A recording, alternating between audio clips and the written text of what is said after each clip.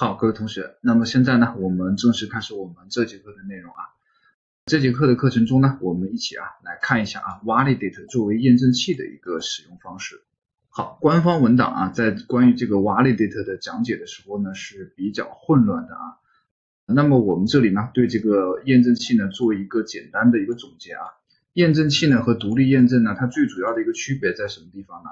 最主要的一个区别啊，就是在于这个验证器呢，对于这样的一个 validate 的规则呢，做了一个更好的一个封装啊。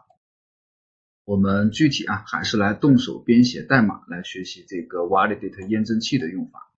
首先呢，我们在这个 API 这个目录下面呢，新建一个文件夹 validate。接着呢，我们在 validate 下面新建一个类啊，PHP class。好，我们起一个名字啊，叫做 test validate。好，确定一下。这个验证器呢，需要继承这个 validate。好，那么我们刚刚说了啊。独立验证和验证器最大的一个区别呢，就是啊，验证器呢把这一块的这个验证规则呢做了一个更好的封装啊。好，我们现在呢来看一下啊，在这个验证器里面如何来定义这个验证规则。那么在验证器里啊，这个验证规则呢是作为啊 text validate 的一个成员属性变量来定义的啊。它的可见性呢是这个 protected。好，那么它有一个固定的变量名啊，是 root 啊，这个大家记住啊，这个是一个固定的。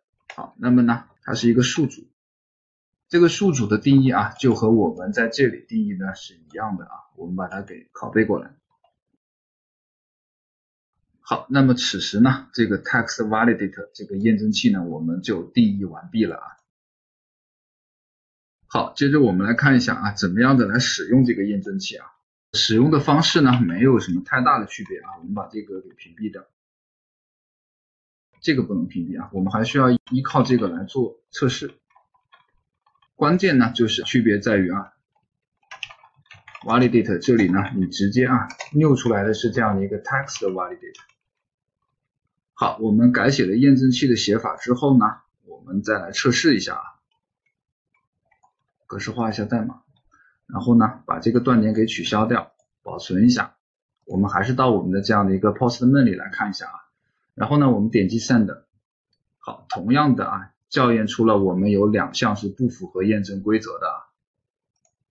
好，那么我们有些同学呢，可能就会问啊，我觉得这两个地方没有什么太大区别啊。确实是的啊，在原理上面来讲的话呢，确实是没有什么太大的区别啊。但是呢，用这个验证器的方式呢，我刚刚也说了啊，封装性呢是更好一些的。这个呢需要我们到后面啊具体去使用这个验证器啊，也就是说呢，把验证器放到我们的实际的业务里面啊去用的时候呢，才能来体会到啊。所以说呢，如果你在这个地方啊有一些困惑的话呢，那么后面呢我们在编写验证层的时候呢，你就要仔细的听了。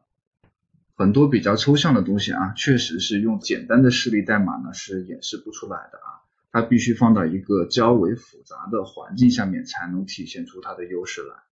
好，各位同学，那么关于啊这个 validate 验证器的使用方式呢，我们就先讲到这里，我们下节课再见。